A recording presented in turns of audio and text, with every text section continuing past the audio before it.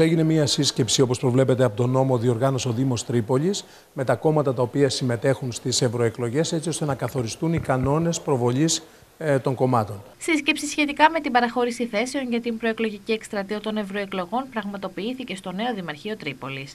Στη σύσκεψη συμμετείχε ο Γενικός Γραμματέας και οι υπηρεσιακοί παράγοντες του Δήμου Τρίπολης, αλλά και εκπρόσωποι των κομμάτων, οι οποίοι επιθυμούσαν θέσεις για την προεκλογική εκστρατεία τους. Να σημειωθεί πως απαγορεύεται η τυχοκόλληση αφισών αλλά και τα πανό.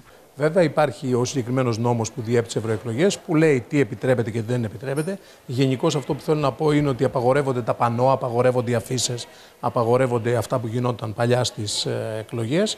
Όπως ήθιστε, ο Δήμος Τρίπολης παραχώρησε θέσεις στην πλατεία Πετρινού, στην οδό Δημητρακοπούλου καθώς και στην πλατεία Άρεος. Επιτρέπονται να, κάθε κόμμα να βάλει ένα περίπτερο διαστάσεων 2 επί 2 σε κάποιο κεντρικό σημείο της πόλης μας που από εκεί θα μοιράζει προεκλογικό υλικό και θα κάνει και την προβολή για τις ε, ευρωεκλογές. Τα κόμματα που συμμετείχαν στη σύσκεψη και έλαβαν τις θέσεις για τα προεκλογικά περίπτερά τους ήταν το κόμμα του Πασόκ, του ΣΥΡΙΖΑ και του ΚΚΕ. Στη σύσκεψη, την οποία έγινε πριν λίγο, όπως είπατε, συμμετείχε από την πλευρά του Δήμου Γενικός Γραμματέας και οι υπηρεσιακοί παράγοντες και συμμετείχαν ε, ε, τα κόμματα το Πασόκ, ο ΣΥΡΙΖΑ και το ΚΚΕ.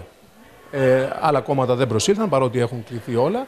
Ε, κανονίστηκε να γίνει προβολή του όπως γινόταν, δόθηκαν κάποιες θέσεις όπως γινόταν και στις εθνικές εκλογές. Τέσσερις θέσεις στην πλατεία Πετρινού, δύο θέσεις στην οδό Δημήτρα Κουπούλου απέναντι από το Άρτεμις το ξενοδοχείο και δύο θέσεις ε, ε, στην οδό Τάσους Σεχιώτη ε, στην, ε, μετά το Καλιστό, πούμε, στο προς τα κάτω.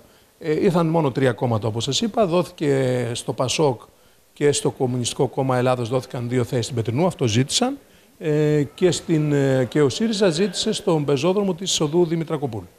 Ε, εκεί θα πρέπει να βάλουν ένα περίπτερο σήμερα με τις προδιαγραφές που λέει ο νόμος, όταν αρχίζει η προεκλογική περίοδος, από τη διάρκεια της προεκλογικής περίοδου.